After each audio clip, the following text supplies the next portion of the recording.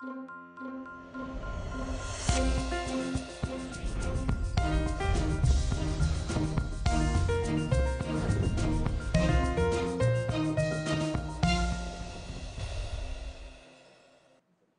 Buonasera, buonasera e benvenuti a Omnibus Notte. Questa sera hanno giurato anche i 40 fra sottosegretari e viceministri, quindi finalmente la compagine governativa si può dire conclusa. E il Presidente del Consiglio, salutando appunto i neo sottosegretari, ha detto ora siamo tutti parte di una squadra, basta con gli interessi di parte, il nostro unico interesse dovrà essere quello del Paese. Troppo tempo è stato perduto, la missione che ci attende non è facile, ma dobbiamo metterci al lavoro perché il nostro successo sarà quello dell'Italia. Serve sobrietà nelle parole e nella nostra attività. Insomma, un appello alla coesione, a stare tutti uniti, ma eh, se voi guardate il titolo che noi abbiamo deciso di dare questa sera alla nostra puntata di coesione e di unità, oggi, almeno dal punto di vista politico, se ne è vista ben poca. Mugugni, minacce e malori, così l'abbiamo eh, intitolata, il venerdì nero della politica. Perché? Perché eh, ci sono state tantissime polemiche legate alla eh, nascente, ma ancora non si sa neanche davvero in che forme, convenzione per le riforme. E poi ci sono state politiche legate alla denuncia fatta dal Presidente della Camera Laura Boldrini sulla violenza che gira sulla rete, sul web, sulla possibilità o meno di eh, fare leggi apposite e ancora polemiche all'interno dei vari partiti. Il PD, lo sapete, ha rimandato l'Assemblea nazionale, era fissata per domani, invece si terrà il prossimo eh, 11 di maggio per decidere se eleggere un, nominare leggere, no, nominare un reggente per il partito oppure designare direttamente un segretario che però poi lo traghetti fino al congresso che si terrà ad ottobre. E su tutto questo, su tutto questo pesano comunque ancora sempre i problemi economici, perché oggi l'Europa ha dato le pagelle, diciamo così, anticipando le proiezioni eh, per, eh, della situazione economica e eh, se eh, come dire, le valutazioni europee sono leggermente più positive per quello che riguarda l'Italia rispetto ai dati forniti ieri dall'Ox, beh questo non significa che siamo messi bene, anzi l'unico dato positivo è che eh, noi eh, riusciamo a eh, mantenere l'impegno di essere eh, sotto la soglia del 3% nel rapporto deficit-PIL, anzi per essere proprio sinceri siamo al 2,9%, mentre invece per tutto il resto eh, produzione, eh, disoccupazione, i dati sono davvero molto preoccupanti. Però che cosa è successo oggi? È successo che eh, la Francia e l'Olanda hanno invece ottenuto la possibilità dall'Europa di una sorta di dilazione, cioè loro non ci sono a questo 3%, sono abbastanza lontani anche a dire la verità, però loro eh, si possono permettere un paio d'anni di respiro. Noi no, anzi noi siamo ancora appesi allo eh, scioglimento diciamo così, della procedura eh, che riguarda eh, il deficit eccessivo e che dovrebbe essere decisa il prossimo 29 di maggio. Allora, è da qui che noi partiamo. Partiamo da qui e eh, ne parliamo, intanto vi presento gli ospiti di questa sera con i quali appunto svilupperemo le varie polemiche che si sono tenute nella giornata. Ma con Tobias Piller della Frankfurter Allgemeine Zeitung, buonasera, buonasera. e benvenuto. Ovviamente ci occuperemo di Germania e non solo. Saluto anche l'onorevole Elena Centemero del Popolo della Libertà, buonasera, buonasera. e benvenuta, e l'onorevole Bruno Molea di Scelta Civica buonasera. con Monti, buonasera. Mentre invece collegata con noi da Montebelluna in provincia di Treviso Saluto e ringrazio perché non, non stava molto bene ma è voluta comunque rimanere con noi e non ha mancato il suo impegno la senatrice Laura Puppato del Partito Democratico. Buonasera Puppato. Buonasera a tutti.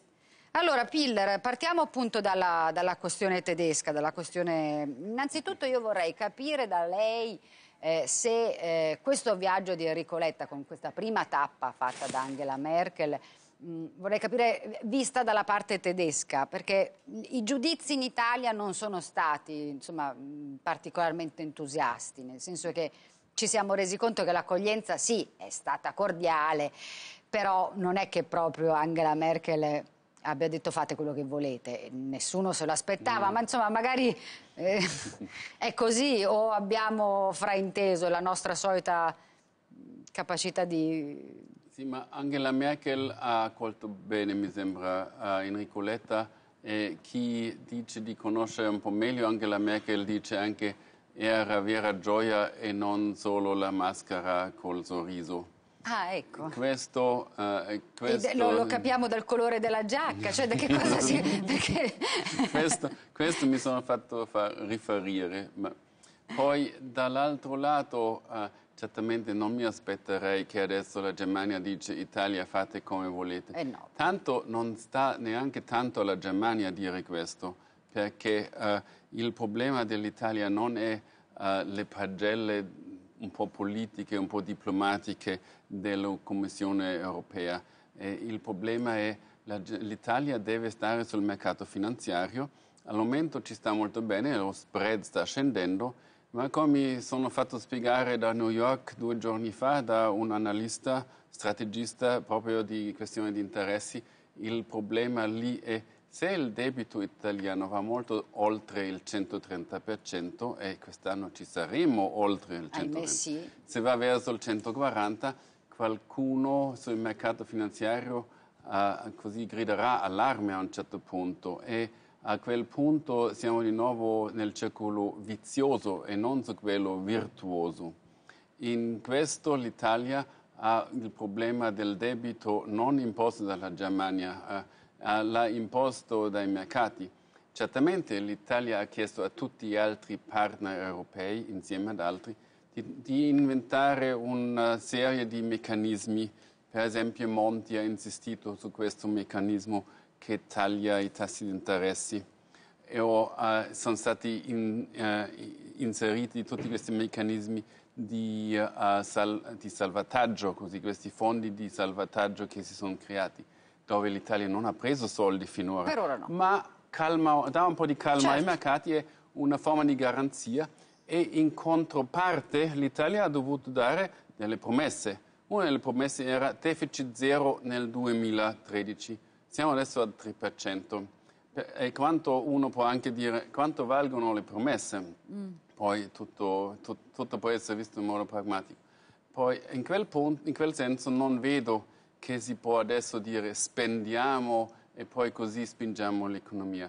Forse no, certo, dopo... quello no. Però, per esempio, eh, noi che siamo sempre un po' dietrologi e maliziosi, no? abbiamo anche subito detto: eh, ma tanto la Germania è in campagna elettorale. È per questo che Angela Merkel comunque non fa alcun tipo di concessione, è per questo che si mostra anche più rigida, che, perché deve in realtà mh, rendere conto al proprio elettorato. È davvero così? C'è anche questo elemento oppure no? Se le, si leggesse così i commenti dei lettori in internet sui miei elettorali, picchiano sui miei eh, commenti troppo morbidi con l'Italia e su Angela Merkel troppo morbida così. Cioè in... i suoi lettori tedeschi le dicono che lei è troppo morbido. Troppo morbido, mm. perché dicono tanto han, non hanno mantenuto le promesse, finirà così con l'unione monetaria italiana, non europea, italiana, così tipo avremo tutti la lira. Questa è eh, la paura dei tedeschi. E in, in questo senso bisogna uh, adesso fare qualcosa per togliergli questa paura. E in quel senso Angela Merkel farà qualcosa di accomodare uh, Letta in modo pragmatico, ma non dargli un assegno in bianco, questo me, non me l'aspetterei. Poi uh, la questione è sempre, ma cosa serve all'Italia adesso? Se guardiamo meglio la Ocse, che ha pubblicato il rapporto ieri, se si toglie lì un po' il velo diplomatico, è stato abbastanza devastante. C'è scritto l'unico paese in tutta l'Ocse che dal 2000 al 2011 ha ridotto il reddito per capite eh, annuale è, è stata l'Italia. Così è stato il fanalino della coda.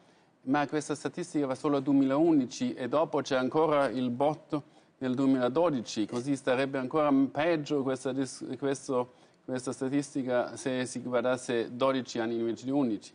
E l'Ocse dice non si può in questa situazione di debito alto dire adesso spendiamo un po' lì a destra e a sinistra. E uh, la mia idea poi, uh, per farlo breve, come economista è i politici o giuristi dicono sempre bianco o nero, economisti dicono più in senso di un circolo virtuoso o vizioso, così se si comincia con riforme si ha un po' di crescita in più, si ha un po' di soldi in più, si può uh, dare uh, qualche soldo uh, all'economia e si può creare un circolo virtuoso. Perché? Per, Innestare insomma un, un c'è, un, c'è un'alternativa all'austerità, si chiama riforme. Allora, la fermo perché eh, è evidente che appunto invece a questo punto noi dobbiamo prendere, cioè il governo dovrà prendere una decisione, la maggioranza che l'appoggia dovrà prendere una decisione perché ci sono delle, delle priorità, lo stop all'IMU, il rifinanziamento della cassa integrazione in deroga, il blocco dell'IVA solo per parlare delle cose più recenti. Eh, comincio da Puppato che eh, non voglio lasciare da sola a Montebelluna. Eh, questa è la situazione che ci è stata illustrata e insomma direi abbastanza verosimile. Oggi la temperatura delle polemiche sull'IMUS è leggermente abbassata a favore diciamo così, di quelle sulla Convenzione, ma non è che l'argomento sia tramontato. Secondo lei come finisce? Beh, eh, vorrei proprio riallacciarmi a quanto diceva ora il corrispondente della Frankfurt Allgemeine Zeitung per dire che c'è un sistema solo per riuscire a far ripartire l'Italia. Lui giustamente lo definisce così, riforme, no? Sono vent'anni che parliamo di riforme, però le riforme camminano sulle gambe e sulle idee e sul lavoro di chi governa. Ora, ehm, una delle riforme impo- importanti, vorrei dire straordinariamente importanti per le nostre imprese, sono quelle che riguardano la semplificazione pubblica cioè la sburocratizzazione, la dematerializzazione, l'innovazione e quindi questa capacità che noi dobbiamo avere perché non abbiamo più tempo eh, di riuscire a portarci quantomeno ai livelli della media europea, degli altri paesi europei rispetto a questa tematica. E beh, eh, abbiamo oggi un nuovo sottosegretario a questo all'uopo dedicato nella funzione pubblica, nella semplificazione che si chiama Gianfranco Miciché. Allora, io spero che non stiamo scherzando, nel senso che dobbiamo avere la certezza che le indicazioni politiche ci portino sulla buona strada, perché altrimenti rischiamo davvero di deflagrare oggi. Il rischio è reale per l'Italia, no? Perché è pur vero che noi stiamo sotto il 3% di deficit PIL, ma siamo ai noi il paese con la maggiore percentuale di debito pubblico, no? 130% ormai, e questo debito risente fortemente del PIL, cioè del prodotto eh certo, eh certo. interno lordo. Per cui, siccome lo stiamo diminuendo, questo è il fattore negativo che accelera la nostra crisi, la nostra difficoltà, se noi non riusciamo a diventare competitivi, questa è davvero la prima questione da mettere sul tavolo, noi purtroppo rischiamo di ridurre ulteriormente la nostra produzione e con ciò inevitabilmente aumentare il nostro debito, a prescindere dal buon Draghi a cui dobbiamo tutto perché voglio ricordarlo, insomma, è straordinario ed è la prima volta che accade che eh, si finanzi il denaro con lo 0,5%. Esatto, continuando Anche questo a dovrebbe dire qualcosa al governo nazionale perché credo che un invito vada speso alle banche di tutta Italia per verificare che finalmente questo si traduca in una riduzione del debito appunto e quindi dei, diciamo del, del, fattore economico a disposizione per eh, cittadini e imprese e questo a, a, a, sua volta produca anche un aumento della disponibilità di denaro liquido perché molte aziende stanno eh, morendo quello che si aspettano. Senta Puppato, ma quando lei ha accennato amici che eh, voleva lasciare intendere che non eh, lo ritiene adeguato, in grado di svolgere il compito che dovrà svolgere oppure no? No, la sua storia non depone a suo favore, però è vero che la delega che ha oggi è una delega importante e allora io voglio credere che a fronte di un ministro, insomma, che è sicuramente persona di grande lavoro, insomma, di grande capacità di lavoro, vi sia anche un rafforzamento di queste linee perché sono linee fondamentali, voglio dire, non stiamo parlando di lana caprina. No, insomma. stiamo parlando della stiamo sopravvivenza parlando del, delle... nostro, del nostro stiamo paese. Stiamo parlando di coloro che dovrebbero guidare un indirizzo politico in direzione accelerata e determinata verso riforme, tra l'altro di per sé non costosissime, ma che necessitano di un grande lavoro e di una grande volontà. Centemaro. Beh, innanzitutto saluto la senatrice Puppato che eh, vedo per la prima volta e eh, mi felicito del fatto che una donna abbia potuto eh, intraprendere nel corso appunto prima delle elezioni politiche la campagna per le primarie, quindi questo del suo partito e questo è una cosa molto importante all'interno di quella che è la presenza femminile nel mondo della politica.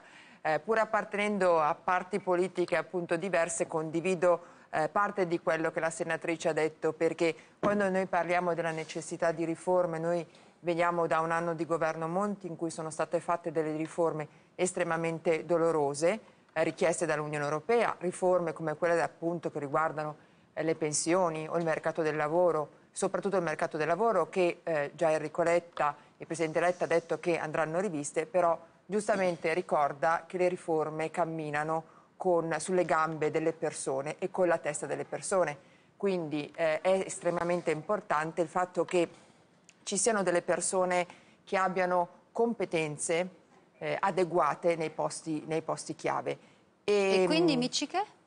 Ma io non mi riferisco, non faccio, ci sono una serie di nomi che parlano da sé eh, all'interno dei sottosegretariati, non commento, eh, mm. credo proprio che però quando il Presidente Letta nel suo discorso, che io ho apprezzato molto, parlava di autorevolezza, e io non, par non parlo in casa di altri partiti, parlo nella Casa del Popolo della Libertà che conosco bene, quando si parlava insomma, di lei avrebbe visto qualcun altro, cioè quando si parlava di autorevolezza, altro? Penso che... Perché eh, sappiamo che appunto una delle polemiche di oggi è stata legata anche alle nomine dei sottosegretari. Non, e, io penso che ci siano tanti nomi e cognomi che parlino da sé e che gli italiani sapranno giudicare eh, in base alle proprie competenze. Vede, io mi occupo di istruzione e come eh, se, occupandomi di istruzione, di cultura e di università eh, non posso fare l'economista e quindi avere un economista, una persona che si, occupa di, si è occupato fino a due giorni fa di bilancio, che si occupa di istruzione, credo che non sia un esempio di competenza. Volea. Ma... Qual è il suo giudizio? Io voglio provare a ripartire un attimo dall'inizio dicendo che secondo me il carico di lavoro che si è preso Letta è sicuramente un carico importante, gravoso. Anche io ho apprezzato molto il discorso che ha fatto il Presidente Letta mentre lo faceva, fra l'altro cercavo anche di capire eh, eh, evidentemente attraverso le sue parole come intendeva poi ricollocare finanze, spostamenti e ogni quant'altro, perché con grande onestà eh, condivisibilissimo tutto quello che ha detto, però poi ecco, tradotto in termini pratici eh, questo comporta sicuramente un'attenzione poi a quella linea di rigore che lui stesso ha richiamato e che fa parte anche del governo Monti, linea di rigore che se vogliamo oggi ci permette di essere al 2,9 e non al 3%, perché poi anche quegli effetti hanno contribuito a far sì che non si sia splafonato il 3%. E conseguenzialmente a queste cose eh, io mi trovo concorde sia con la senatrice ma anche con eh, la collega del, del PDL, probabilmente eh, ai sottosegretariati andavano eh, assegnate persone che quantomeno professionalmente avessero, come dire, le competenze e, e le esperienze necessarie perché questa linea di rigore potesse essere garantita anche ai livelli periferici della politica e non soltanto dai vertici. Questo è il mio pensiero. Voi di Scelta Civica governo... avevate avanzato Questo... candidature anche insomma, abbastanza... Sì, ma guardi, eh, noi non abbiamo mai fatto una diciamo. questione eh, di posti, voglio dire, abbiamo sempre fatto una questione di, di effetti, di capacità di produrre effetti e questo Letta ci ha chiesto, ha chiesto a tutti. Eh, lo ha chiesto il Presidente Napolitano, l'ha chiesto il Presidente Letta nel suo lungo discorso. E ci ha ricordato a tutti la gravità della situazione, anche se credo non ce ne fosse bisogno perché è chiaro a tutti quanti, e ci ha soprattutto detto che questo è un governo che deve necessariamente dare segnali al Paese perché il Paese nelle condizioni in cui è non può continuare ad andare avanti così, ma non può prescindere da quella linea di rigore che ha permesso, ripeto, di stare sotto il 3% e che dovrà permettere di continuare in quella direzione, perché oggi poi l'Europa... No, no, questo, questo è vero, però è anche vero che, come diceva Centemero, in realtà le, le, le, poi comunque le idee viaggiano sulle, sulle gambe, gambe delle, delle, persone Ma e degli per questo le dicevo probabilmente, e, e, certo, probabilmente ci voleva più accuratezza e Sempre scelta. questa questione si lega all'altra polemica che invece oggi si è infuocata nuovamente, sulla eh, Convenzione per le riforme, che è qualcosa che appunto ancora non esiste, non è stata nemmeno definita, non si sa neanche esattamente come funzionerà, nel senso che si sta ancora discutendo anche di quello. Ma la polemica oggi violentissima c'è stata perché qualche giorno fa Berlusconi si era, diciamo così, autocandidato a presiederla Già erano uscite insomma, pareri non particolarmente entusiasti. Oggi, forse perché si è pronunciato un esponente di rilievo come Matteo Renzi e un altro come Fassina, sempre del PD, che hanno detto che non trovavano eh, appropriato dare la presidenza a Berlusconi, il PDL compatto come un solo uomo ha fatto quadrato ed è divampata la polemica.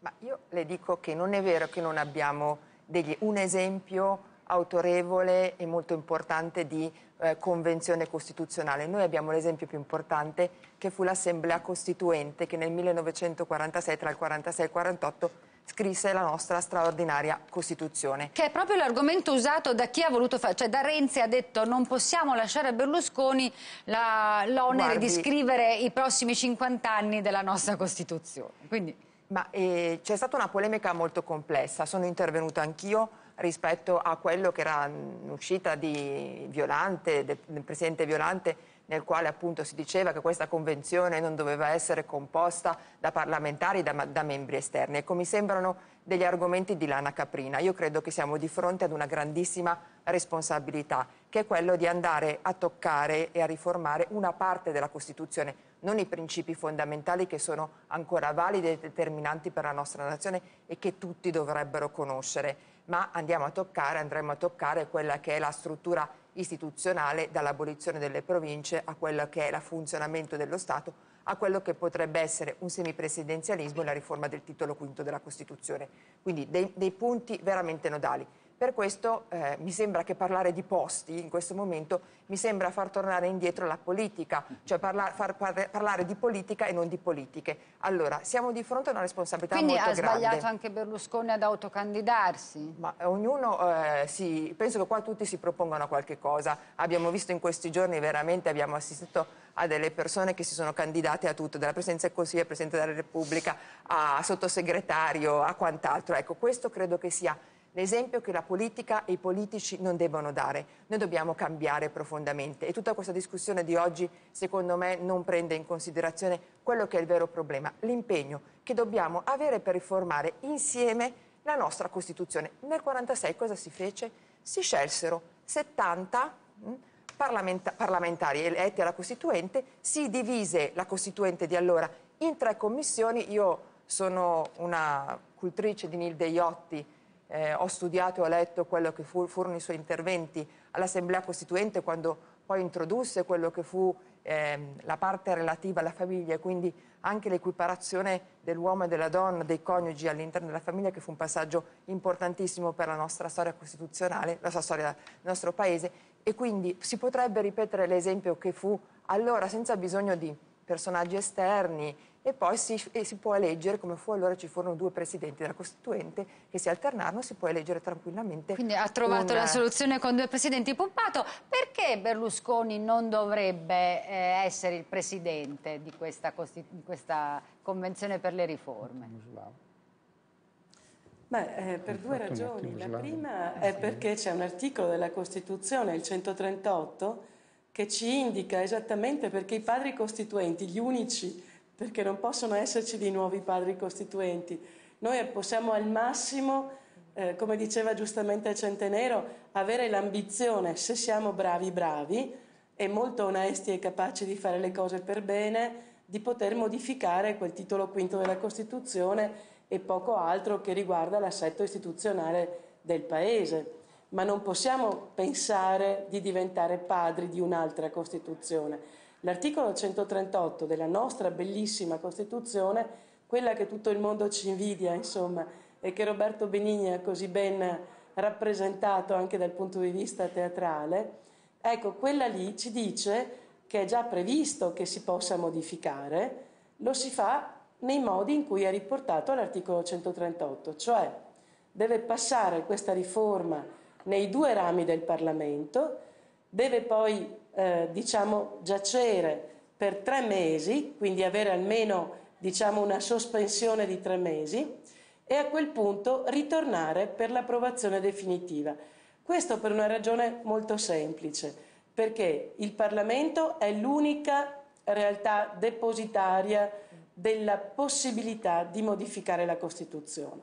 Primo. Secondo, eh, deve farlo con tanta accuratezza, con tanta diciamo, capacità di non errare, insomma di non sbagliare, di procedere appunto in modo eh, assolutamente ragionato, comprensibile anche dal popolo italiano, tanto è vero che è persino previsto il referendum nell'ipotesi che ehm, più di 500.000 abitanti ritengono per esempio che si stia forzando in modo innaturale la Costituzione. Quindi vi sono scritte tutte le modalità con le quali si deve procedere e le ragioni per cui i padri costituenti hanno inteso darci questo strumento per cambiare quella Costituzione. Quindi noi dobbiamo semplicemente eh, bravi alunni di quei Cioè lei dice non ci dobbiamo inventare nient'altro, questo è il no, senso. No. no, perché invece cioè oggi più, le polemiche eh... erano molto più legate a noi abbiamo la presidenza del Consiglio, allora voi eh, ci dovete dare la, la, la, presidenza del Convenzione, però no perché c'è già Quagliarello ministro per le riforme, allora insomma... No, no. Cosa pensano gli elettori? Cosa pensano i cittadini italiani rispetto Sì, ma sono i vostri proporsi? colleghi, eh? non è che l'abbiamo fatte noi queste sì, polemiche. Però, francamente io, io, credo, io credo che, no, ma appunto credo io, che questa sia la strada peggiore vorrei... per andare avanti. No, Anzi, anche perché faccio notare una cosa, parte. che in qualche modo eh, Molea me lo conferma, visto che diceva che ha ascoltato con molta attenzione il discorso di Letta, eh, il Presidente del Consiglio ha legato di fatto il successo del suo governo al successo delle riforme. Certo. Quindi... Ma le riforme non devono identificarsi in una persona. Io concordo quanto diceva la collega prima e quanto diceva la senatrice. Stiamo parlando di una cosa talmente importante, talmente di, di, di ampio respiro rispetto, rispetto alla politica dell'aula, voglio dire, che non può essere ricondotta a una persona. Le riforme vanno fatte in maniera ampiamente condivisa, devono essere veramente patrimonio di tutti, sia dell'opposizione che della maggioranza. Deve, I due rami del Parlamento devono condividere in maniera ampia quello che, che saranno le riforme e quindi individuare comunque un qualcuno che è il referente o il padre, visto che lei lo ha chiamato così, delle riforme che faranno parte del pacchetto di questo governo in questi 18 mesi mi sembra anche riduttivo. Con grande onestà. non, non voglio togliere niente al Presidente Berlusconi, Berlusconi che è una gran, mm. una gran persona. Però dice sarebbe un po' però un impaccio. Dobbiamo dare la pubblicità fra un minuto, però io vorrei prima di appunto arrivare in pubblicità chiedere eh, a Piller se eh, eh, tutto questo lavorio, per esempio, cioè come viene giudicato eh, all'estero, in particolare appunto dalla Germania, che comunque che, che, se ne dica per noi rimane comunque, cioè il giudizio della Germania conta moltissimo in Europa, perché eh, quando, insomma Angela Merkel ha visto già tre presidenti del Consiglio nel giro di eh, praticamente due anni. La stabilità politica conta, immagino, no? Il punto è che in Germania non si capisce molto della politica italiana, ma anche e questo lo non si capire, vuole ecco. capire tanto. Si vuole vedere un movimento, ma vorrei anche dire che eh, anche, eh, pro, anche Draghi, quando ha riferito a tutti i capi di Stato sei settimane fa, si trova su internet uh, al sito del BCE, sugli interventi di Draghi, ci sono i, i, slide che ha fatto Draghi per i capi di Stato. Ha detto uno delle, degli elementi più importanti è fiducia, confidence. Così, fiducia, credito e competitività. Di spese dello Stato non c'era mm, niente, niente. Comunque per la fiducia Bisogna adesso tracciare una linea che va verso il futuro e che fa vedere ai italiani che qualcosa comincia a muoversi, altrimenti se cominciano tutti a bisticciare come finora eh, non si crea fiducia e poi in quel senso anche non si crea neanche voglia degli imprenditori investire, delle banche dare credito, perché è tutto legato a questo. E vorrei mettere anche un ultimo punto su questo, perché sono qua tre parti della coalizione, ma bisogna pensare che loro hanno una spina nel fianco che si chiama Grillo. Così se, le, se loro adesso in trasmissione, eh, oggi no, ma in altre occasioni, cominciano a bisticciare come hanno fatto finora, eh, si perde l'occasione, ma anche si perde tutto il terreno a, a Grillo. Così adesso non hanno altra scelta a correre più velocemente perché la spina nel fianco sta lì. Quindi in qualche modo aiuta. Pubblicità, ci ritroviamo fra pochissimo. Thank you.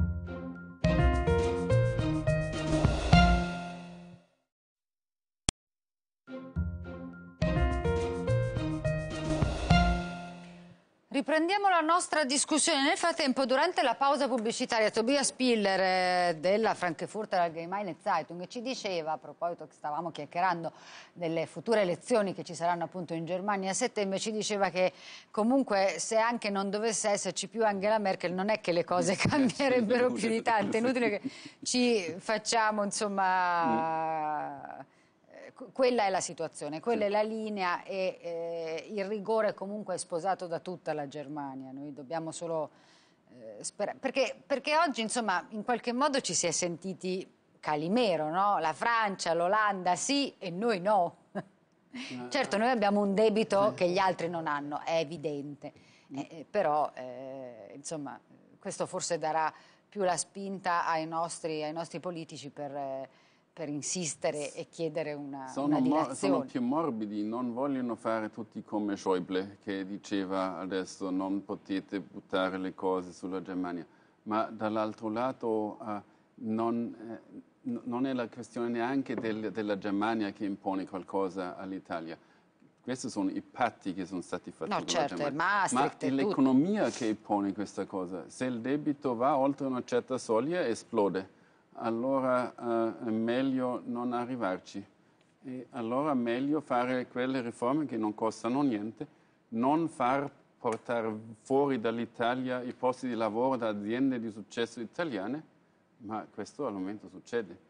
Ahimè, sì. Fra i mugugni, le minacce e i malumori di oggi non c'è stata solo la polemica sulla Convenzione per le riforme, ce n'è stata un'altra eh, che invece riguarda più l'ambito femminile. Non a caso, infatti, sono contenta di avere due due signore questa sera perché ehm, Laura Boldrini ha rilasciato un'intervista, il Presidente della Camera Laura Boldrini ha rilasciato un'intervista nella quale, a Repubblica, nella quale ha denunciato eh, quella che è un proprio, una vera e propria violenza, anche se arriva via, via web, eh, fatta di minacce, fatta di fotomontaggi, fatta di eh, anche spunti insomma, pesanti eh, nei suoi confronti, ma non solo. E, eh, forse il titolo dato all'intervista era abbastanza fuorviante perché sembrava che lei chiedesse una legge eh, che regolamentasse tutto ciò, qualche cosa in più. Io ho avuto l'impressione che in realtà Boldrini volesse semplicemente aprire una riflessione,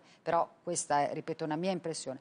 Ma appunto la polemica poi si è, eh, è girata intorno a quest'idea, se eh, valga oppure no la pena di eh, comprimere il web, di censurarlo, di fare altre leggi, di intervenire insomma in un modo censorio. Lei che cosa ne pensa?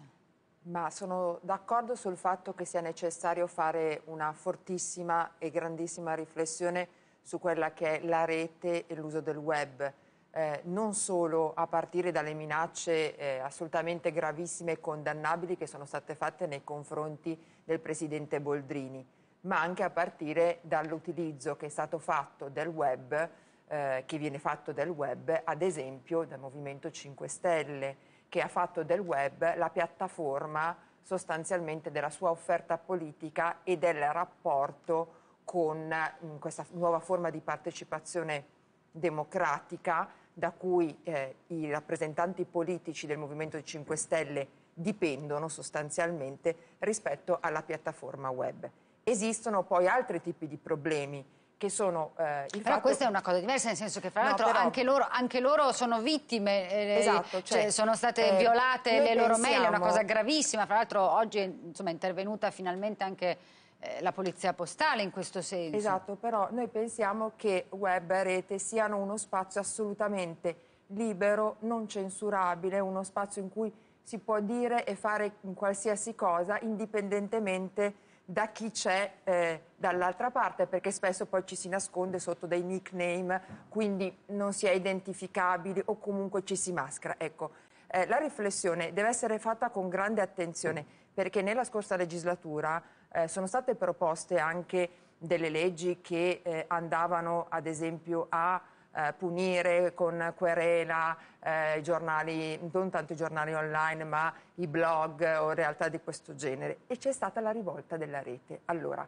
non si può pensare che esista uno spazio assolutamente privo di regole, perché la società... Però le regole realtà... ci sono già, nel senso che comunque la diffamazione già viene punita, eh, cioè, sì, ma non è che, che non fatto... ci siano. Esatto, però l'uso che ne viene fatto... È facile risalire, dimostra... cioè lei dice ci si nasconde dietro nickname, ma in realtà è facile risalire a chi c'è dietro, sì, qualsiasi... Beh, no, forse noi no, ma insomma quelli che lo sanno fare lo, lo fanno rapidamente. Sì, però è un, una questione di come si usa questo spazio possiamo proprio veramente utilizzarlo per dire e scrivere qualunque tipo di cosa indipendentemente da quello che stiamo scrivendo. Deve, deve, veramente esistere uno spazio così ampio. Noi abbiamo visto ad esempio il cyberbullismo, l'utilizzo eh, di, del, delle reti anche per stalking o per fenomeni appunto di bullismo. Dobbiamo stare molto attenti, ci vuole secondo me una regolamentazione. Quindi lei interverrebbe anche da sì. un punto di vista... Educativo innanzitutto, sì. educativo innanzitutto, cioè sull'uso dello strumento,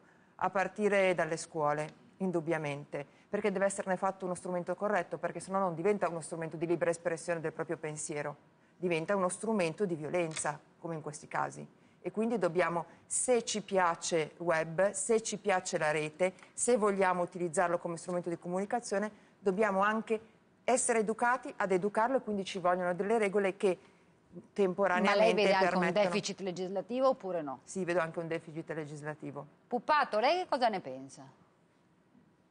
Io sono tendenzialmente contraria alla censura ma voglio dire, eh, tutti i reati che avete nominato, anche ora il Centenero ne citava alcuni, come lo stalking, come le minacce, la pornografia, per esempio, sono tutti reati e quindi vanno evidentemente colpiti e allora dovremmo chiederci invece se abbiamo strutture sufficientemente adeguate per riuscire ad intervenire laddove è il caso di intervenire, quindi essere pronti, essere efficaci, garantire chiunque utilizzi quello strumento in modo tale che non possa risultare un'arma diciamo, in mano a persone che lo utilizzano in un certo modo e quindi in modo negativo. Cioè lei sta eh, dicendo più, questo, che, più, che, altro sarebbe bene intervenire, cioè magari potenziando quelli che dovrebbero controllare o quelli che dovrebbero intervenire?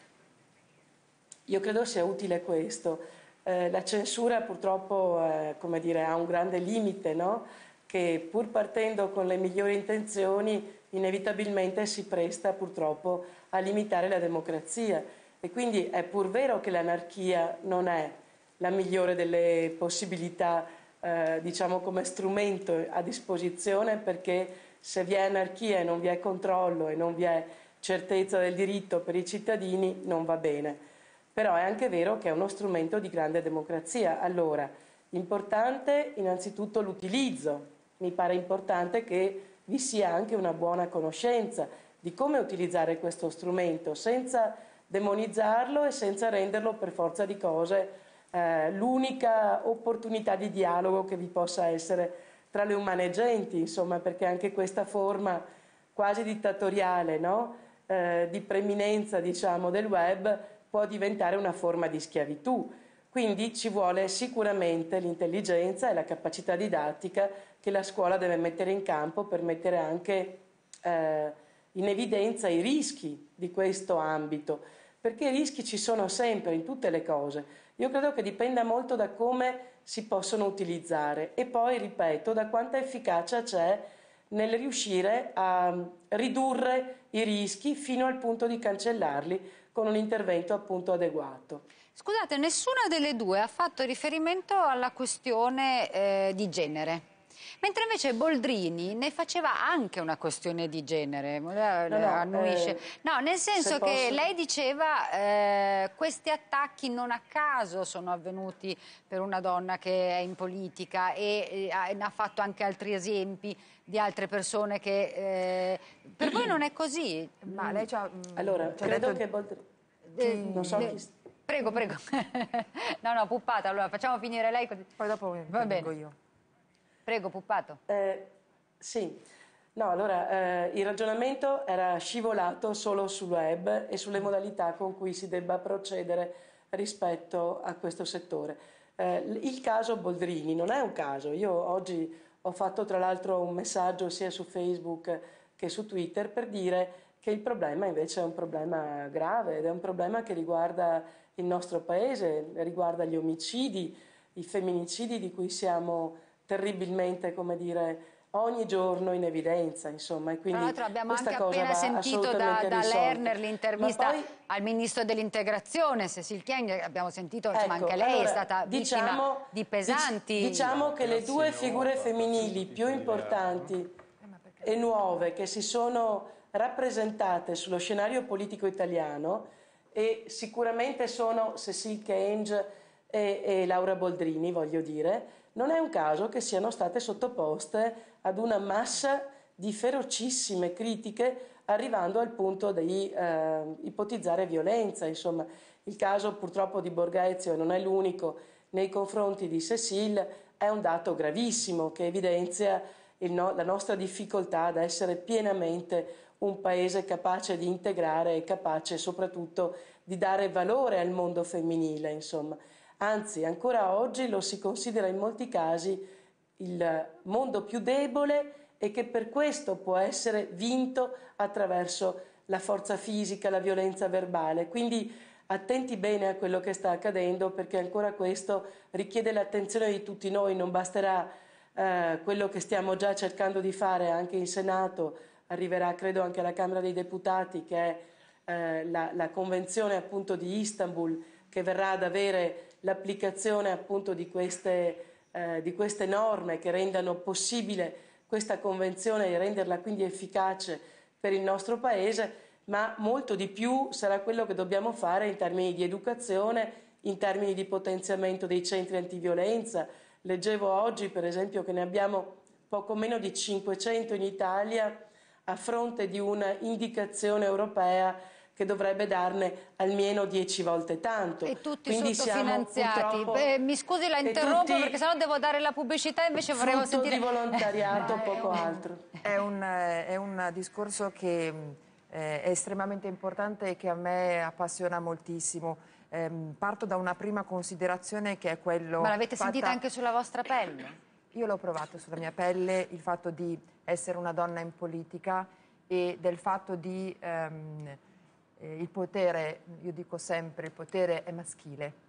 E una donna che, eh, io sono stata coordinatrice eh, provinciale del mio partito, quindi ho toccato non l'aspetto tecnico della politica, delle politiche, ma proprio la politica, eh, la gestione del lei potere. lei ha iniziato da, da, subito in Forza Italia. Sì, ma eh, questa è stata un'esperienza successiva e mh, una donna che eh, tocca il potere eh, tocca un campo che viene eh, ritenuto di esclusiva competenza maschile.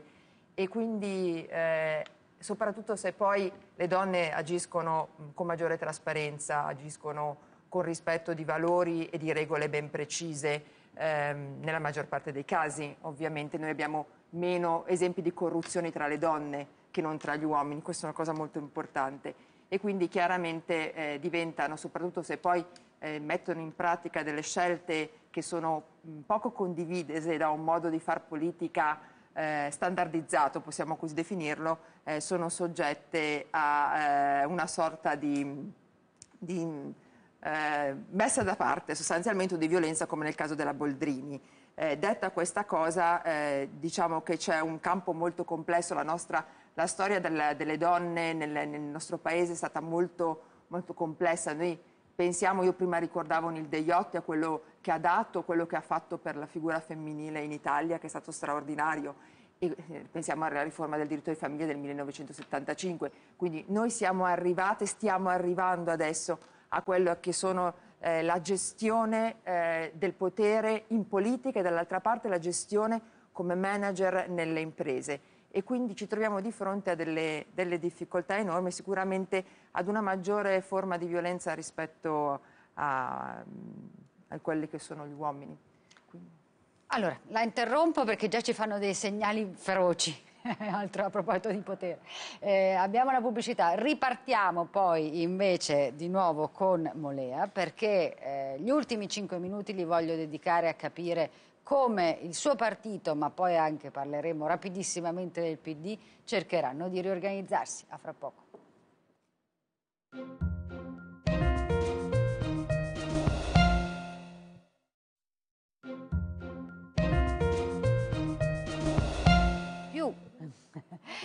Niente, non riusciamo a stare zitti. Noi durante la pubblicità chiacchieriamo e continuiamo a chiacchierare ovviamente di quello di cui vi abbiamo appena eh, reso conto mentre siamo in onda. E eh, in questo caso l'onorevole Elena Centemero diceva ah, non ho parlato delle donne del PDL che sono considerate meno donne. Beh, insomma... No, non meno donne, semmai da certa, diciamo così, critica più donne, ma nel senso deleterio del termine, cioè ma guardi, io non voglio, non voglio tornare, non voglio non, tornare no? su un'espressione che ha utilizzato l'ex segretario appunto Bersani, eh. non voglio ritornare.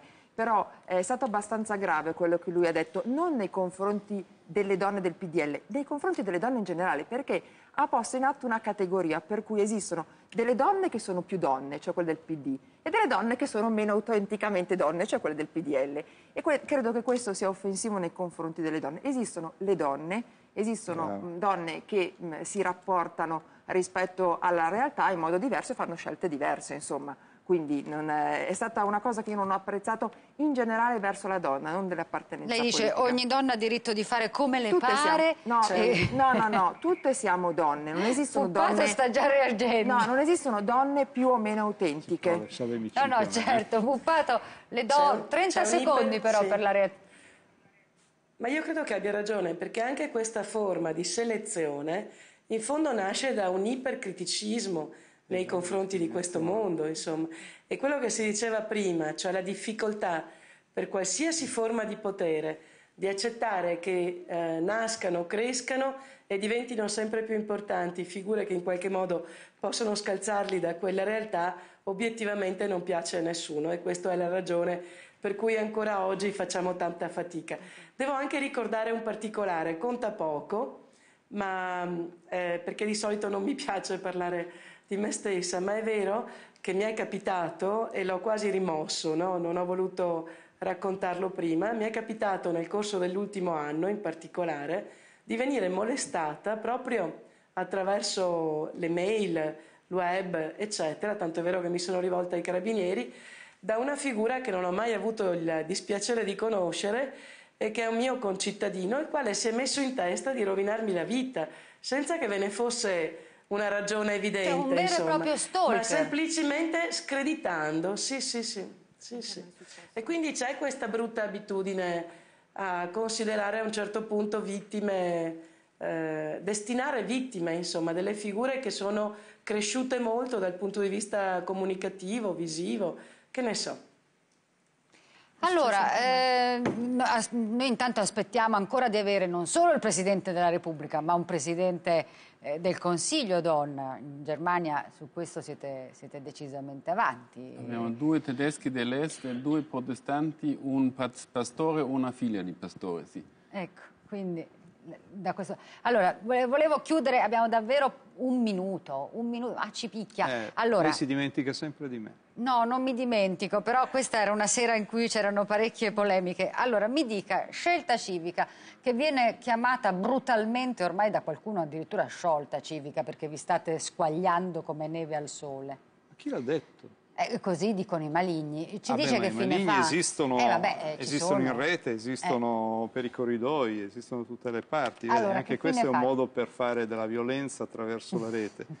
No, non ci stiamo sciogliendo. Io credo che Scelta Civica, passata eh, questa tempesta, perché di questo si tratta, 50 giorni per organizzare un partito, fare campagna elettorale, presentarsi poi alle urne, uscire dalle urne come siamo usciti, Manino. cominciare a fare politica, eh, non abbia avuto il tempo, eh, durante questo percorso così veloce, di fare un attimo di, di analisi, analisi interna. E siamo una, una forza politica che è composta da provenienze più strane, questo concedetevelo, no?